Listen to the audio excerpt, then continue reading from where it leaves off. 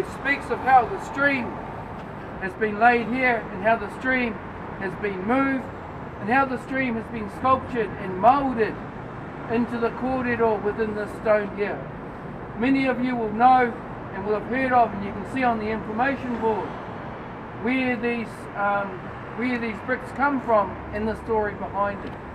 Te Pikotanga o Te Waimapi talks about the history, the past of the stream,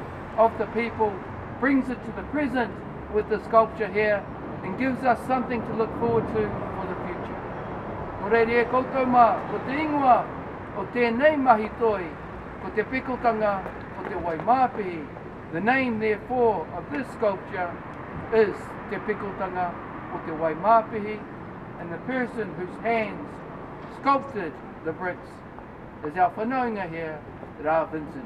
You may have seen him on the red carpet over in LA just a few weeks ago. And you'll probably see his name again on two uh, movies that are, well, many movies that will be coming through. Nō re re koutou mā, koi nā te ingoa, koi nā te mihi ki koutou, ki te tangata nei,